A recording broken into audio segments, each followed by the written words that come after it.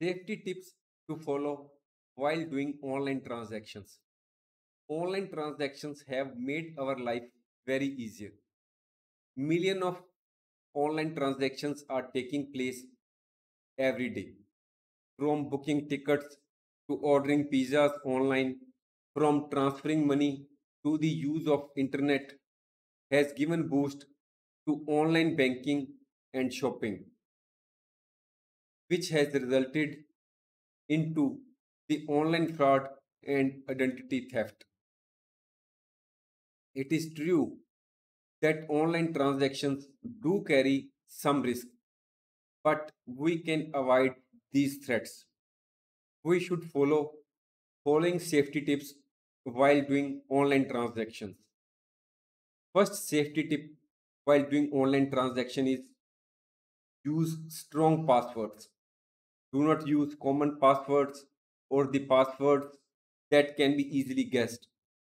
Passwords are difficult to hack if they are a mix of small and capital letters, numbers, and special characters. Please make sure that the password length is more than 6 digits. Change passwords as often as possible, but at least every 3 months. We can also take the help of a site strong passwords to generate strong password. This is the screenshot of that relevant site from where you can generate strong password. Next is do not use public computer. Use your own computer or mobile for online transactions. Do not use the computers installed at internet cafes as these computers can be manipulated by adjusting its hardware or software. Next is never save financial passwords on your computer. When you are using computer, sometimes there is a box appearing on the right hand side which say, says that whether you want to save the password or not.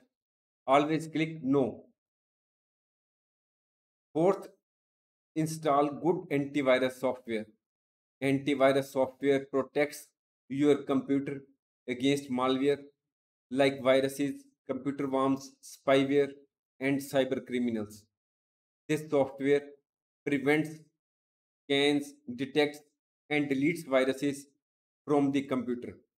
Here is a list of some of the good antivirus software. Though we have shown this figure, we in no way support or any of this antivirus software. This is only for the information purpose. Use secure sites. We should give details of our credit card or bank account only on secure sites. See in the address bar of the browser. If the site address starts with HTTPS and a lock, this is the HTTPS and this is the lock symbol, then it is safe to give your credit card and bank details. Deal with reputed websites only. Do not pay directly to any website unless you know it. Next is online shopping tips. Always log out of bank and merchant sites after you have completed your transaction. Run virus scans regularly on your computer. Conclusion An online transaction is a business deal or exchange that is conducted over the internet.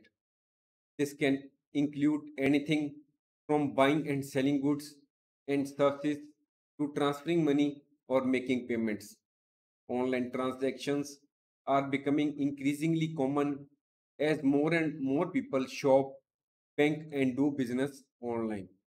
Now you have gained more knowledge about online transactions, so you can decide if they are the right choice for you. If you decide to conduct transactions online, be sure to take precautions to ensure your safety and security. Thanks for watching. If you like our course, please spare some time to give a star rating to our course.